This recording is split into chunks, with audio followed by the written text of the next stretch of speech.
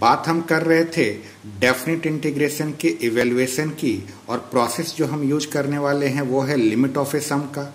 या first principle के नाम से भी इसको बुलाया जाता है, या लिमिट ऑफ़ इनफाइनाइट सीरीज़ के नाम से भी इसे बुलाया जाता है। और इसमें सिर्फ़ यही एक फॉर्मूले का यूज़ होता है।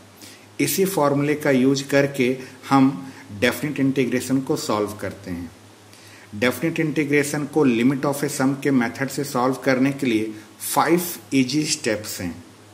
पाँच आसान स्टेप्स हैं जिसके थ्रू हम इस क्वेश्चन को या किसी भी क्वेश्चन को लिमिट ऑफ़ ए सम या फ़र्स्ट प्रिंसिपल से सॉल्व करते हैं। आइए हम उन मेथड्स को समझते हैं या उन स्टेप्स को समझते हैं। हम फाइंड आउट करने वाले हैं limit of a sum a to b f x d x का। Limit a to b f x d x का पाँच सिंपल स्टेप्स होते हैं।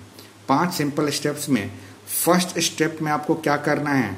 आपको ए, बी, एफ़ एक्स इसको पहचानना है। ए, बी और एफ़ एक्स कहने का मतलब कि जो भी आपका क्वेश्चन दिया हुआ रहेगा, उस क्वेश्चन में आपका लोअर लिमिट क्या है? ध्यान दीजिए, ए जो है यहाँ का लोअर लिमिट है, बी जो है यहाँ का अपर लिमिट है और आपको वो फ़ंक्शन पहचानना है, जिस फ़ंक्शन को आप इंटीग्रेट करने वाले हैं। आपको ए की वैल्यू पता चलनी चाहिए, आपको बी की वैल्यू पता रहनी चाहिए, आपको एफ़ एक्स पता रहना चाहिए कि हमारा फ़ंक्शन क्या है।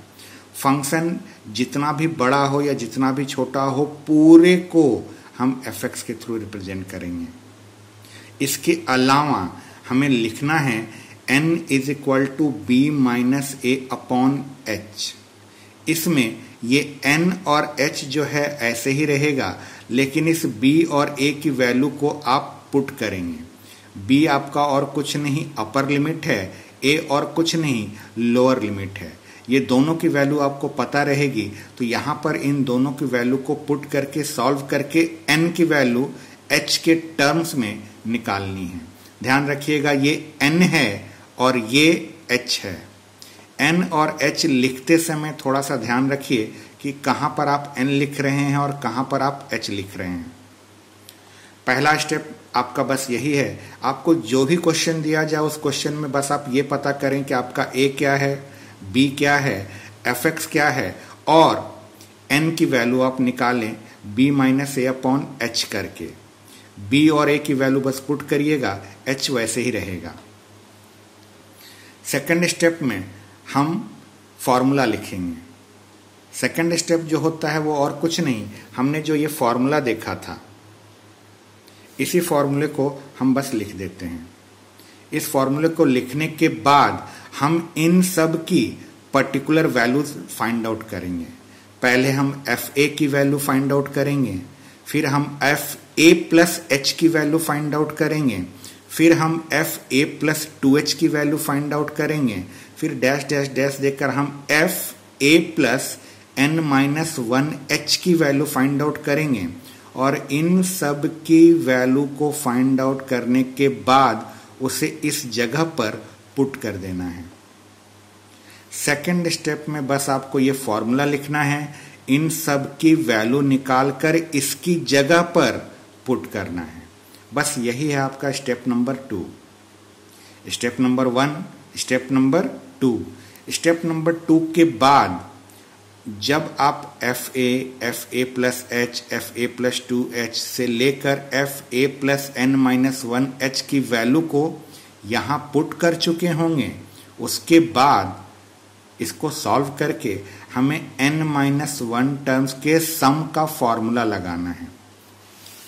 ये सब फॉर्मूले जो हमने अभी देखे थे, इन सब फॉर्मूलों में से किसी फॉर्मूले की ज़रूरत जो है, यहाँ पर हमें पड़ेगी। जब हम यहाँ पर वैल्यूज़ को पुट करेंगे वैल्यूज़ को पुट करने के बाद हमें sum of n minus one terms के फॉर्मूलों की ज़रूरत पड़ेगी, बस वहाँ से उस फॉर्मूले को यूज़ कर लेना है। फॉर्मूले को यूज़ करने के बाद हमारा स्टेप नंबर थ्री कंप्लीट हो जाएगा और स्टेप नंबर फोर में किया क्या जाता है? ये जो बाहर में आप एच देख रहे हैं, इस बाहर वाले एच को अंदर मल्टीप्लाई कर देना है। बाहर में जो ये एच है, इस बाहर वाले एच को आपको अंदर मल्टीप्लाई कर देना है। मल्टीप्लाई करने के बाद आपको एन एच की वैल्यू जहाँ जहाँ पर ब्रैकेट के अंदर आपको एन एच दिखेगा उस एन एच की जगह पर आप बी माइनस ए रखेंगे। ध्यान रखिए बी माइनस ए कहने का मतलब कि जो भी आपका क्वेश्चन दिया हुआ है, उसमें अपर लिमिट और लोअर लिमिट तो आपको मालूम होगा। अपर लिमिट और लोअर लिमिट अगर मालूम होगा तो बी माइनस ए की फाइनाइट वैल्यू आएगी। कोई ना कोई नंबर आएगा ये। तो एनएच को आपको उसी नंबर से रिप्लेस करना है।